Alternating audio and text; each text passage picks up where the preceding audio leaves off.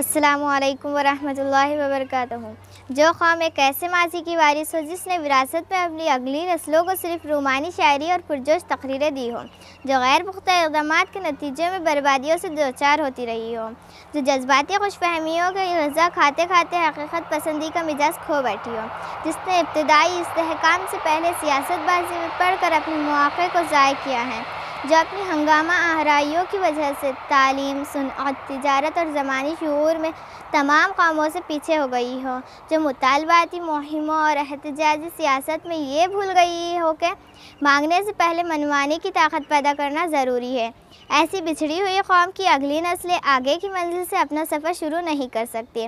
ان کو لامحالہ وہاں جانا پڑے گا، جہاں سے ان کے باپ دادا نے اپنے رستے کو چھوڑا تھا۔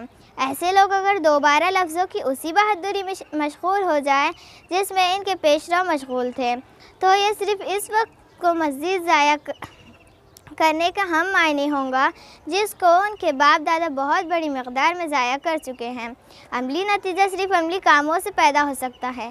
الفاظ کی کھیتی سے عمل کی فصل نہیں کاٹی جا سکتی، یہ قدرت کی طرف سے انسان کے لیے ایک خاموش سبق ہے۔ بیج سے شروع کر کے کوئی بھی انسان درخت تک پہنچ سکتا ہے۔